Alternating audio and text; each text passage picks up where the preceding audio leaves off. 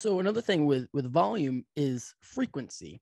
And there was a time period where it seemed like a lot of people back in the day were doing like bro splits were really popular once, you know, training every muscle group once a week. And then there was a shift towards more frequency where it's like, hey, you want to to optimize things, hit each muscle group two or three times a week. And now it seems like we're kind of at a spot where, hey, if volume's the same, it might not be too different. Is that kind of accurate?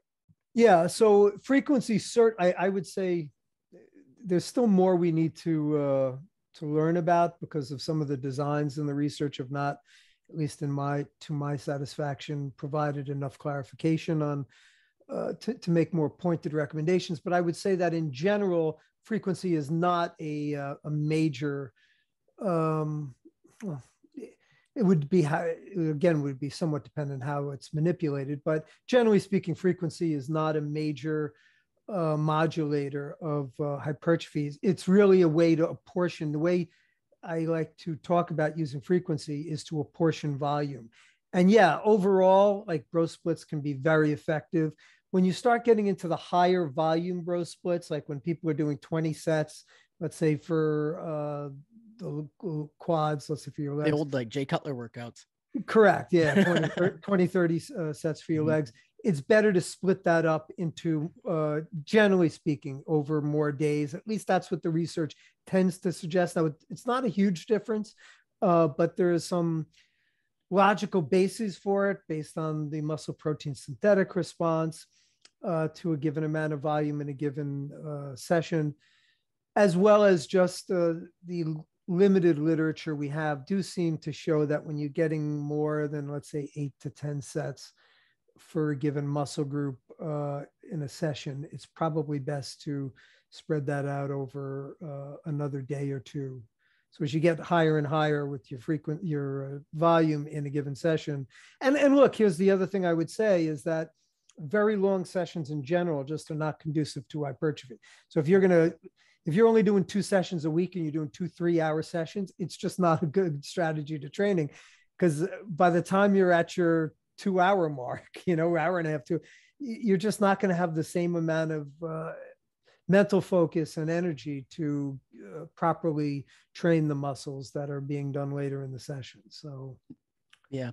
Now when we talk about strength is that where frequency come becomes a little bit more important You'd think so, but again, the limited. So I, I still am somewhat skeptical of the the literature. I, look at this. You know, I'm a researcher and uh, mm-hmm. I uh, I'm a student of, of literature, but we also have to look at uh, when things don't make sense. We still need to question them, and, and you have to look at what the gaps are in the literature.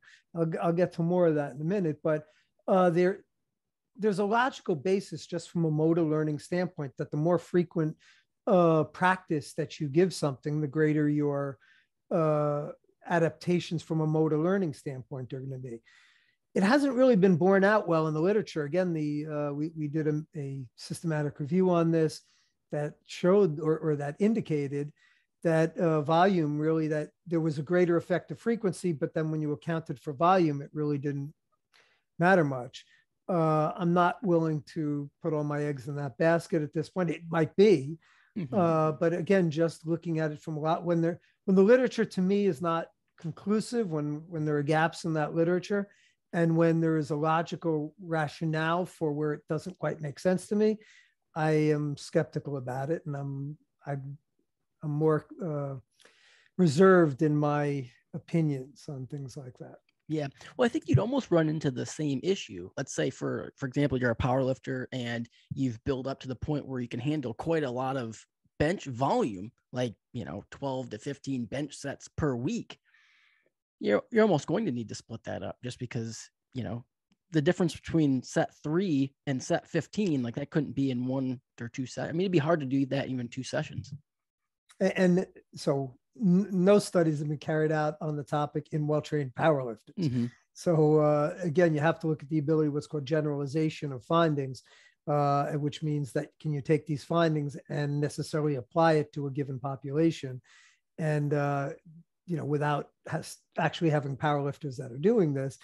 And in fairness, it's very difficult to get a group of powerlifters and you're going to say to them, "All right, I just want you to lift once per week on your main lift. Uh, Yep. You know, we're going to see most powerlifters don't want to regress, so they're Mhm. going to be very hardened into their uh, into their mindset as to what they want to do.